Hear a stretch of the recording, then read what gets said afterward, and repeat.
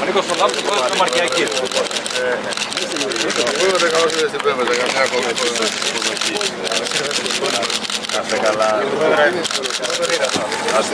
Πάλι καλώς, καλώς σας Όλα καλά.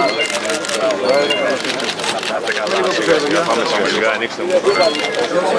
Γεια σας πρόεδρε. Γεια σας, γεια σας. Ανοίξτε λίγο, ανοίξτε λίγο. Ανοίξτε λίγο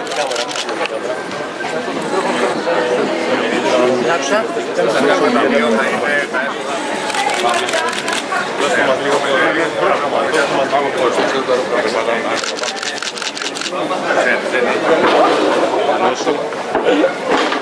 Καλή όρεξη. Αμέ, κύριε, πώς είναι το πέρα. Πώς είναι το πέρα. Πίσω, πίσω την κάτω. Παιδιά, εδώ θα πάμε. Γεια σας.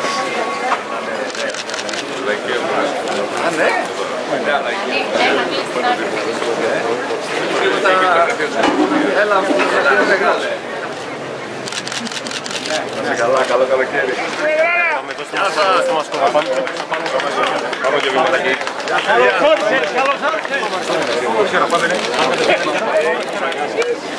Ωραία, πάμε λίγο. Πάμε, πάμε, πάμε.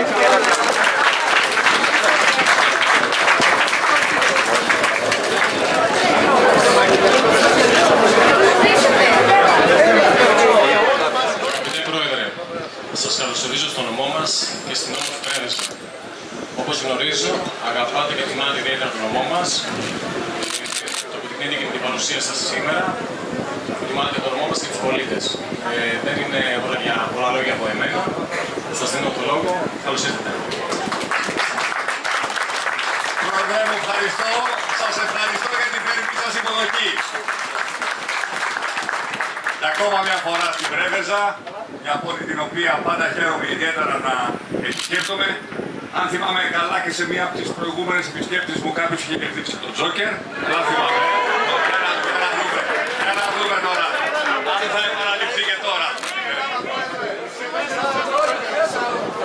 Έρχομαι, έρχομαι από την Ετωλοκαρνανία, όπου μόλις ε, δώσαμε στην κυκλοφορία τα 17 χιλιόμετρα της παράκαμψης της Αμφιλοκίας.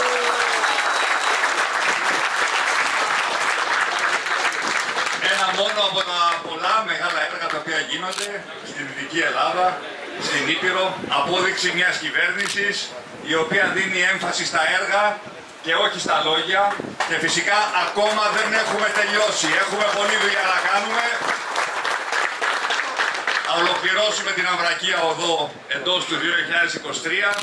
Θα ξεκινήσουμε και την υποθαλάσσια της Λευκάδας για να μπορέσουμε να εξασφαλίσουμε γρήγορη σύνδεση της Λευκάδας με την υπηρετική χώρα και θα προχωρήσουμε και σε όλα τα υπόλοιπα σημαντικά έργα υποδομής εδώ στη Δυτική Ελλάδα, στην Ήπειρο, η οποία είχε τη φήμη η Δυτική Ελλάδα της ξεχασμένης, των δύο ξεχασμένων περιφερειών. Όμως πρέπει να σας πω ότι δυσανάλογα πολλοί πόροι διοχετεύονται αυτή τη στιγμή εδώ πέρα, στην Ήπειρο. Αλέκο, τα ξέρεις καλά, τη δουλειά την οποία γίνεται. Έχετε πολύ άξιο περιφερειάρχη με τον οποίο συνεργαζόμαστε πολύ στενά σε μια σειρά από σημαντικά έργα. Θέλω να σας διαβεβαιώσω ότι θα συνεχίσουμε. Κύριε Μέχρι Πρόεδρε, τη- θέλουμε τη σύνδεση της Πρέβεζας με την Ιόνια. Αυτή, νάτι. Χρονίδεκος εδώ πέρα. Την ξέρεις κι αυτή, θα γίνει κι αυτή. Ό,τι έχουμε πει θα γίνει. Αυτή η κυβέρνηση τηρεί τον λόγος της. Θέλω να σας διαβεβαιώσω ότι μέχρι την τελευταία μέρα της θητείας μας, πριν από τις εκλογές που θα γίνουν όπως έχουμε δεσμευθεί στο τέλος της τετραετίας του 2023, να εξακολουθούμε να εργαζόμαστε, εγώ και οι συνεργάτες μου κάθε μέρα, για να κάνουμε τη ζωή όλων των Ελλήνων, όλων των Ελληνίδων καλύτερη. Ξέρετε ότι μας έτυχαν πολλά. Μια κρίση πάνω από την άλλη. Καταφέραμε όμως όχι μόνο να σταθούμε όρθιοι, αλλά να μετατρέψουμε τις κρίσεις σε ευκαιρίες και σήμερα η Ελλάδα να είναι πιο ισχυρή, πιο αξιόπιστη, πιο δυνατή, με πιο ισχυρή οικονομία από ό,τι ήταν πριν από τρία χρόνια. Έχουμε φέτος και χαίρομαι που το διαπιστώνω και εδώ, στη Δυτική Ελλάδα, στη Λευκάδα, εδώ πέρα στην Πρέβεζα, μια πάρα πολύ καλή τουριστική περίοδο. Χαίρομαι που η Ελλάδα είναι τόπος τον οποίο προτιμούν οι ξένοι επισκέπτες. Πιστεύω ότι όταν θα κάνουμε τον απολογισμό θα μιλάμε για μια εξαιρετικά θετική τουριστική χρονιά. Όμως δεν θέλουμε μόνο επισκέπτες από το εξωτερικό. Θέλουμε και οι Έλληνες να μπορούν να ταξιδεύουν. Και κάθε φορά που μιλάω για τουρισμό έχω απόλυτη ενσυναίσθηση ότι υπάρχουν σήμερα συμπολίτες μας που έχουν δυσκολία να μπορέσουν να περάσουν έστω και λίγες μέρες διακοπές. Γι' αυτό και πήρα την ε, απόφαση και θα ανακοινώσουμε τις λεπτομέρειες επίσημα εντός της ημέρας να διπλασιάσουμε το κονδύλι για το πρόγραμμα τουρισμών για όλους, να δώσουμε ακόμα 30 εκατομμύρια